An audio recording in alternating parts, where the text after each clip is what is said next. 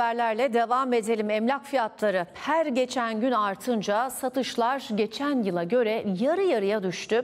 Hatta bazı yerlerde de durma noktasına geldi. Emlak uzmanları fiyatların yabancılara bile pahalı geldiğini açıkladı ve önümüzdeki günlerde neler beklendiğini anlattı.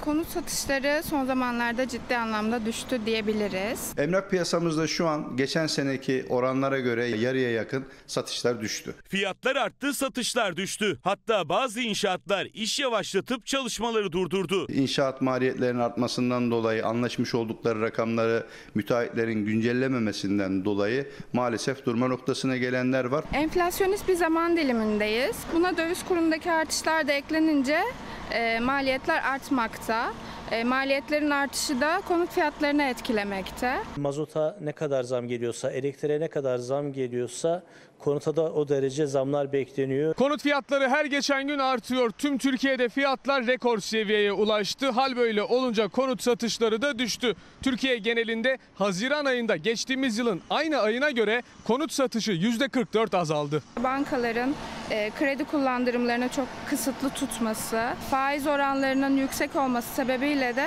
geri ödemelerde problem yaşayacak insanlar için çok tercih edilmeyen bir durum bu da. Ev fiyatları artık yabancı yatırımcıya da pahalı geliyor. Öyle ki bazı bölgelerde tamamen durma noktasına geldi. İstanbul, Marmara bölgesinde Arap ülkeleri vatandaşları ama Antalya ve Ege bölgesinde, Akdeniz bölgesinde Rus vatandaşlar şu an birinci sırada. Vatandaşlıkla alakalı 250 bin dolardı 400 bin dolara çıktı. Onların da aynı şekilde maliyetlerden dolayı biraz daha azaldı alımları. Yıl sonuna kadar biz %30 seviyelerinde konut fiyatlarının artmasını bekliyoruz.